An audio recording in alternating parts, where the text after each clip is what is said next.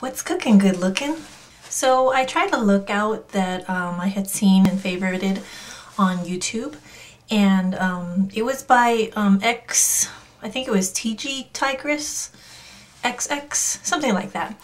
Anyway, she you guys probably know her. She's uh, pretty popular. I thought I'd try something out. I couldn't, I didn't have the exact same colors that she had, but um, you gotta work with what you've got.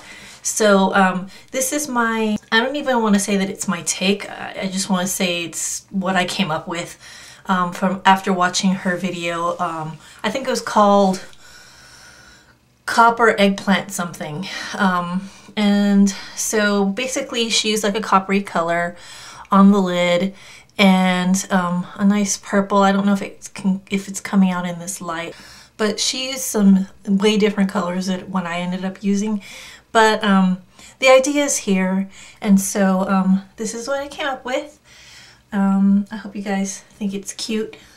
Um, don't don't be too harsh on me because I just got started with makeup and um, just having some fun.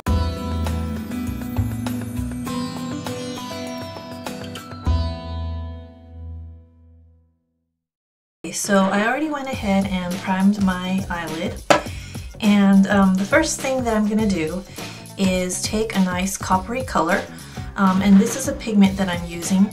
Um, it's a L'Oreal Hip. I actually bought at Target. It's a nice coppery color it's called, um, it's called Tenacious. I actually used a foiling method that was introduced to me by my good friend Gypsy Dancer Macaholic. Shout out. okay, I'm gonna take some more Target, because you guys know I love Target, some Target brand lubricating eye drops, and I'm gonna put it right here on my hand, just a drop. See that? And what I'm gonna do is I'm gonna go ahead and take my um, small eyeshadow brush and I'm only using a small one because um, I have small eyes, really small chinita eyes. So I just got it kind of wet there and I'm going to take some of the loose powder that's in the lid and I'm just going to swirl it around in there. Um, and then it's going to make a nice like creamy um, pigment that I could just add to my lid.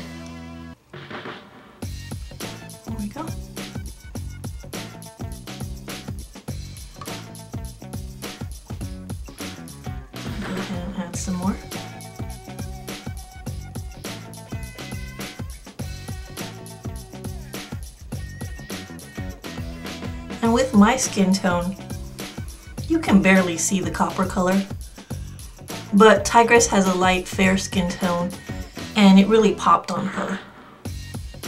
I'm gonna have to put more on after so that hopefully it can pop some more. So she ended up using a color called Hepcat, but I don't have that. I have Satellite Dreams. That's the closest thing I have. I don't have too many um, matte colors. So I'm going to take my 217, my kind of dirty 217, and I'm going to put this in the outer crease. So I just realized that um, I already skipped a step, so um, I cleared off some of the Hepcat that, I mean, the satellite dreams that I just put on. And I'm going to go into my palette and I'm going to pick up some Shadowy Lady because it's kind of a purpley color and it's little, it's obviously darker. And what she does is she draws a line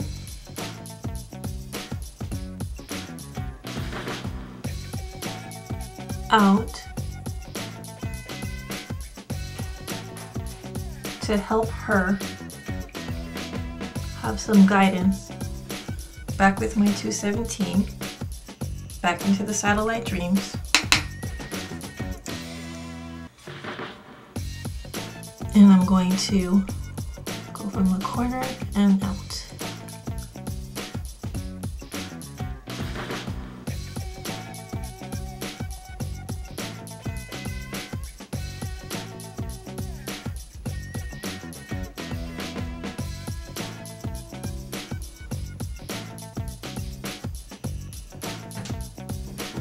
Okay, now I'm gonna pick up some of the Shadowy Lady.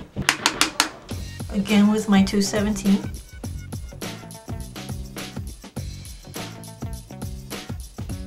And just put it there in that corner.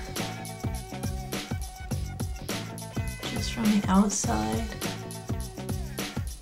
and in.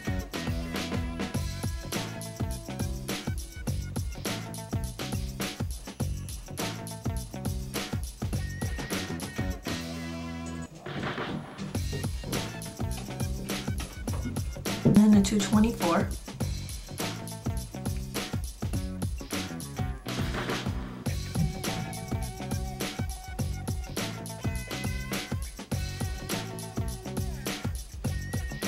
And we're just blending so there is no harsh lines.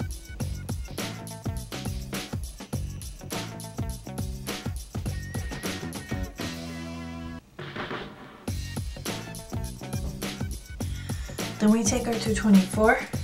I'm gonna dip it into, uh, where is it? Some carbon.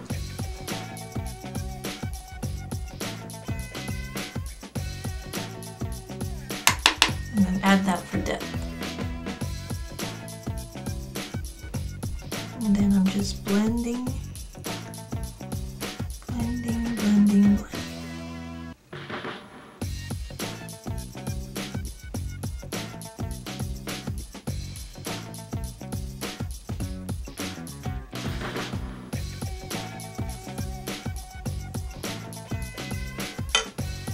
Okay. Then for my highlight, I'm going to use this brush here. It's a, I think it was a 232, it's kind of rubbing out now. But it's a huge brush compared to my eye size. I didn't know what I should use it for, my sister got it for me. And then I found a great thing that it can be used for. Highlights. So I'm adding that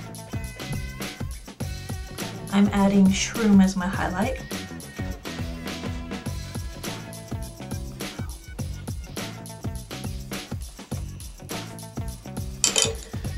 Okay, then I'm going to take my little pencil brush. I'm going to dip into the Satellite Dreams again, and I'm going to draw under the underneath.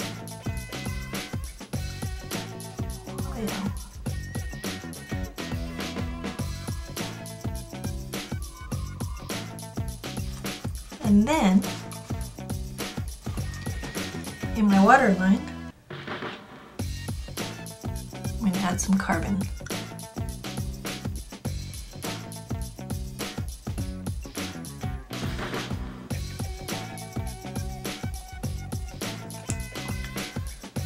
So that is pretty much done.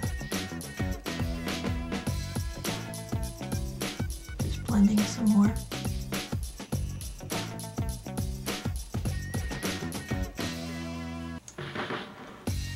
Now I'm just gonna put um, liner and mascara and I'll be back. Okay, so this is the final product. Um, I added a little bit more shadowy lady um, in the inner corner because I didn't feel it was dark enough and I didn't want to use carbon. So there we go. Let me zoom out. Ignore my ghetto headband, it's just the headband I use to pull my hair back. But this is the look. I hope you guys liked it. I totally like it. Um, and I'm probably gonna wear it tomorrow or I don't know, next couple of days. So, um, if you guys have any colors like this, I totally recommend that um, you try to replicate this look.